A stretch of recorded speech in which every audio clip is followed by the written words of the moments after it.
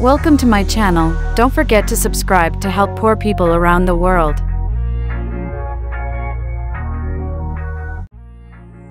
The X-Trail small SUV in Japan has been gaining popularity among buyers for over a year now thanks to the hybrid technology that it incorporates into its e-Power series.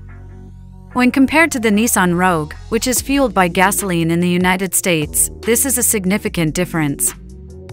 While the third generation of the Nissan Rogue was made available for purchase in the United States, the Nissan X-Trail has been available for purchase in Japan since the year 2000. Although the e-Power Series hybrid system was initially introduced in the fourth generation X-Trail, it is not now available on the Rogue in the United States. When Nissan's e-Power Series hybrid technology was initially presented to the Japanese market, it was the little 2016 Note that served as the card that marked the occasion. A gasoline engine and an electric motor are both components of the X-Drive Trail's powertrain, which is the second iteration of the e-Power system. The X-Drive Trail incorporates both of these powertrains. Although it is the engine that is responsible for charging the battery, the motor is the one that is in charge of actually driving the wheels.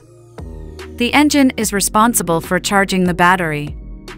Electrical power is transferred from the battery to the motor by means of an inverter that is built into the motor itself. This inverter is responsible for the transfer of electricity. It is feasible for the driver of an electric vehicle to relax and make use of the capabilities of the vehicle without having to worry about the battery dying.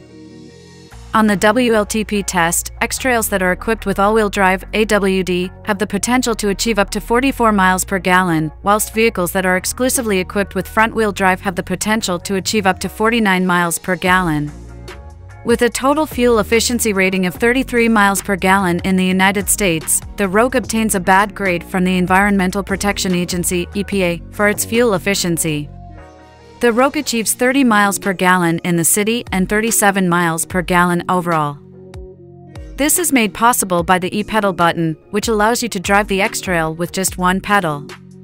Additionally, there is a button that lets you to convert to the mode of driving an electric vehicle.